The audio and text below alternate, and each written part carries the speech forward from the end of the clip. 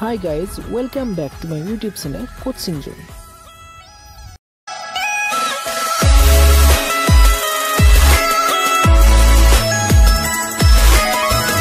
ছাত্ৰ ছাত্ৰীসকল আজি আমি এই ভিডিঅ'টোত ডিছকাছ কৰিম ক্লাছ এইটৰ যিখন আমাৰ মেথছৰ টেক্সট বুকছ আছে সেই টেক্সট বুকখনৰ আমাৰ অনুসৰি নম্বৰ টু পইণ্ট টু আগতে আমি এই অনুশীলনীটো পৰ্যায়ক্ৰমে তিনিটা আমি পাৰ্ট লৈ আহিছিলোঁ তাত আমি কুৱেশ্যন নম্বৰ ওৱানৰ পৰা আৰম্ভ কৰি কুৱেশ্যন নম্বৰ নাইনলৈ চলিউশ্যন কৰিছোঁ। আজি আমি ইয়াত কুৱেশ্যন নম্বৰ টেনৰ পৰা কুৱেশ্যন নম্বৰ টুৱেলভলৈ চাৰি নম্বৰ পাৰ্টটো লৈ আহিছোঁ। আশা কৰোঁ আপোনালোকে গণিতকেইটা ভালদৰে বুজি পাব।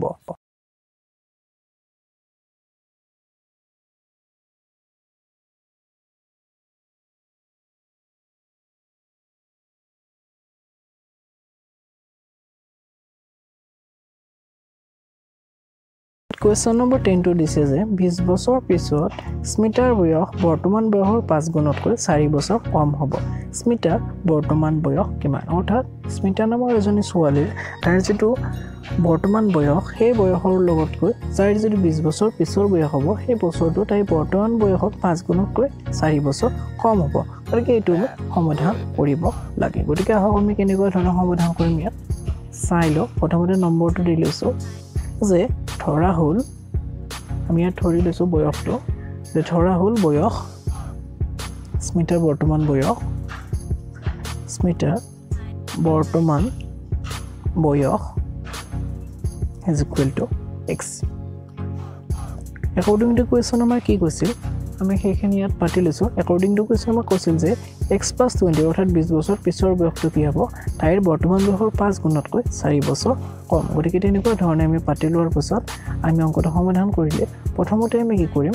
এক্সকেইটা এফালে আনি ল'ম। এইটো এবাৰ প্লাছ ফাইভ এক্স আছিল কাৰণ এইফালে আহিল minus five x. Minus four x আৰু এইবাৰে প্লাছৰ পৰা মাইনাছৰ টুৱেণ্টি। তাৰপিছত আমি ইয়াত যদি আমি চাবলৈ যাওঁ পাঁচটা জমা আছিল চাৰিটা গতিকে থাকি গ'ল আমাৰ দিবলগীয়া যিটো পাঁচটা দিবলগীয়া আছিল আৰু ইয়াৰ পিছত এইখিনি আপোনালোকে নিশ্চিত বুজি পাইছে। কটাকটি কৰিলোঁ। এনেকৈ এক্সৰ মান আমাৰ ইয়াত ওলাব। ছিক্স অৰ্থাৎ আমাৰ স্মিতাৰ যিটো বৰ্তমান বয়স তাইৰ বৰ্তমান বয়সটো হ'ল আমাৰ ছয় বছৰ।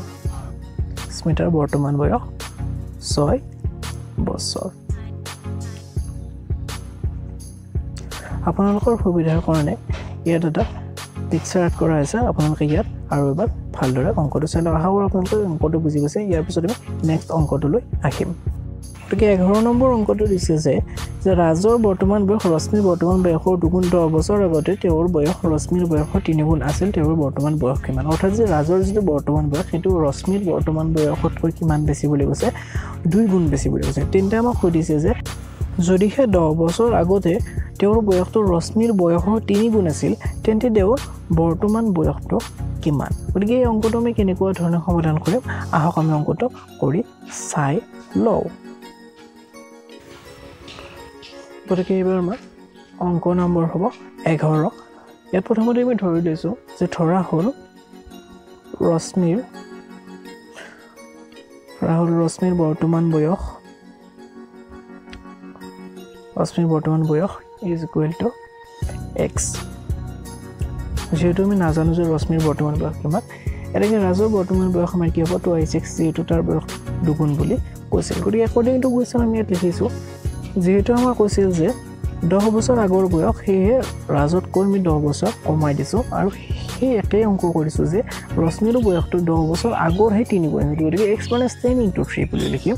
ইয়াৰ পিছত আমি অংকটো সমাধান কৰিবলৈ প্ৰথমতে এইটো বিতৰণ বিধিটো পূৰণ কৰি লৈছোঁ যে three into equal thirty six minus plus minus minus ten into three equal thirty ইয়াত আমি টু আই ছিক্স আৰু এক্সটো এইভাগে লৈ আহিছোঁ গতিকে মাইনাছ থাৰ্টি ছিক্স হ'ল যিহেতু প্লাছ আছিল।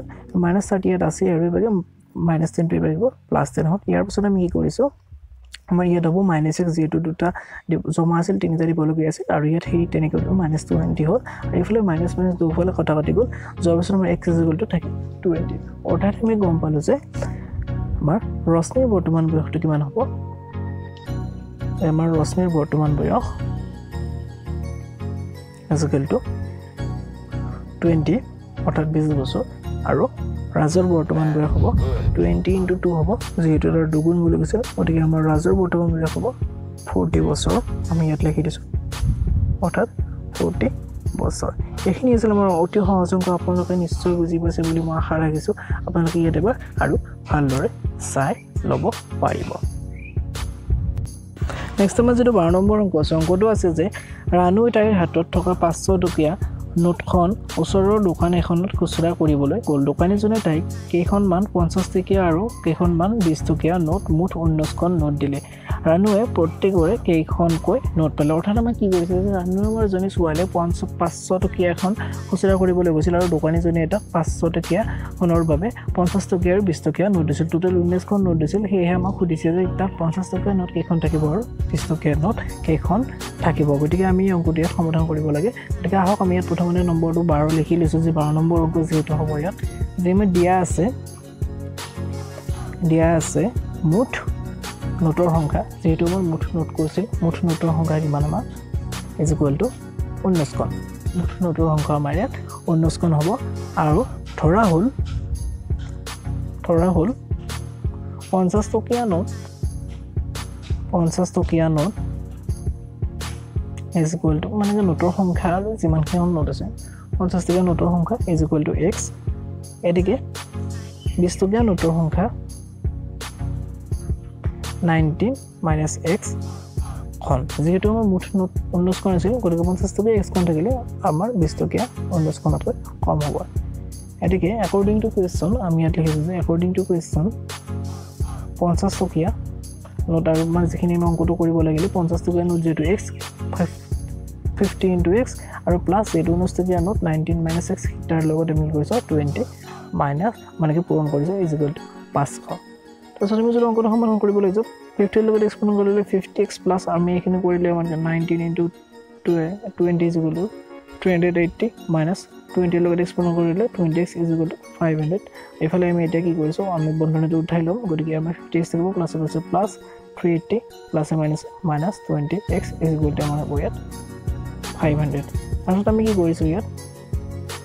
ফিফটি এক্সটো ইয়াত আছে আমি টুৱেণ্টি এক্সটো ইয়াত ৰাখি দিছোঁ। দি কিনে আমি ইয়াত ফাইভ হাণ্ড্ৰেডটো আৰু এইবাৰ থ্ৰী এইটটো যিহেতু আমাৰ বাকী প্লাছ হৈছিল আমি এইটো আমি ৰাইট চাইডে লৈ যাওঁ মাইনাছ থ্ৰী এইটি হ'ল গতিকে ইয়াত আমাৰ থাকি গ'ল থাৰ্টি এক্স আৰু ইয়াত আমাৰ থাকি গ'ল ওৱান টুৱেণ্টি ইয়াত এক্স ইজিকুলটো আমাৰ কি হ'ব? One twenty divided by thirty আৰু আল্টিমেটলি আমাৰ ইয়াৰ এনচাৰটো পাম চাৰি। গতিকে এক্স ইজিকুলটো ফ'ৰ অৰ্থাৎ আমি বুজি পালোঁ যিহেতু আমাৰ এক্স মানে ধৰিছিলোঁ পঞ্চাছ টকীয়া নোটৰ সংখ্যা সেয়েহে আমি গম পালোঁ যে পঞ্চাছ টকীয়া নোট ইজিকুলটো চাৰিখন আৰু আমাৰ বিছ টকীয়া নোট ইজিকুলটো আমাৰ কি হ'ব? ঊনৈছ মাইনাছ ফ'ৰ ইজিকুলটো আমাৰ কিমান হ'ব? ফিফটিনখন বিছ টকীয়া নোট আমাৰ কিমানখন হ'ল? ফিফটিনখন গতিকে আশা কৰিছোঁ আপোনালোকৰ গোটেইকেইটা অংক অতি ভালদৰে বুজি পাইছে যিহেতু অংককেইটা বেছি টান নহয়। যদি কিবা অংককেইটাক লৈ কিবা কিউৰি থাকে মোক তেন্তে নিশ্চয় কমেণ্ট কৰিব। মই সেইখিনি সমাধান কৰি দিবলৈ চেষ্টা কৰিম। যদিহে ভিডিঅ'টো চাই ভাল পালে তেন্তে লাইক আৰু শ্বেয়াৰ কৰিবলৈ নাপাহৰিব আৰু যদিহে মোৰ চেনেলটো এতিয়ালৈকে ছাবস্ক্ৰাইব কৰা নাই তেন্তে প্লিজ প্লিজ প্লিজ মোৰ চেনেলটো ছাবস্ক্ৰাইব কৰি দিব। সকলোৱে ঘৰতে থাকক নিৰাপদে থাকক ভিডিঅ'টো চোৱাৰ বাবে আপোনালোক সকলোকে অশেষ ধন্যবাদ।